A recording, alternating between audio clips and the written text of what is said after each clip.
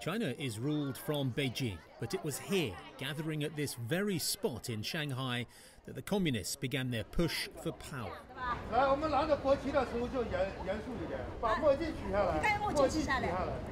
One hundred years on, with around 90 million members, some are still as fervent in their following this man checks a special app on the ideas of China's current leader every morning. The first thing I do when I wake up is to answer the test questions. Of course, it's meaningful, so your mindset won't be loosened.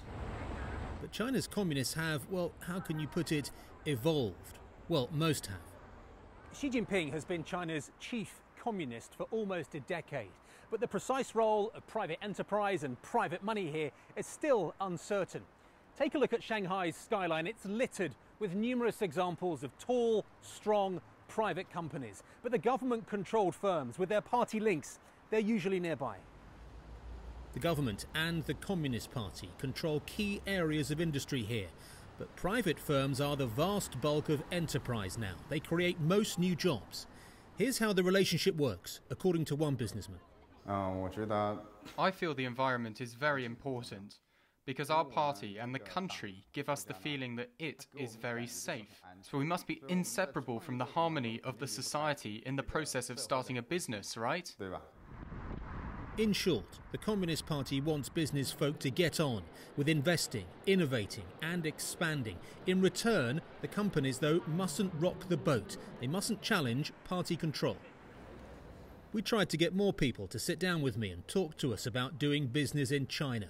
Factory owner, a very senior and well connected academic, but none would talk on camera or on the record. The reason some are wary, well, they fear they may put a foot wrong and upset this man. We encourage private enterprises to develop. China's leader Xi Jinping knows that private business is key to economic growth and keeping his Communist Party in control. Hence, this endorsement earlier this year. The party and the state will offer support and provide guidance when private enterprises have difficulties. Therefore, private enterprises should strive to thrive bravely. Thrive, yes, but with the party there to supervise. Almost half of private firms now have a party committee.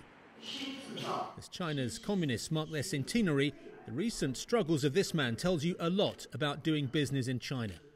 watch uh, Robin, uh, BBC News. When I spoke to Jack Ma a few years back, he was approaching the height of his power. The co founder and boss of Alibaba, the world's biggest retailer. China's most famous business person, a card carrying party member. But late last year, a crackdown came from on high. Alipay, part of the bank busting credit giant he founded, was about to go public. The government stopped it.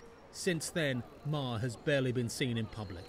His company had become too big, too powerful, a systemic threat, the government said. In today's China, Xi Jinping wants private business to thrive, but only if it will help the party thrive a little bit more.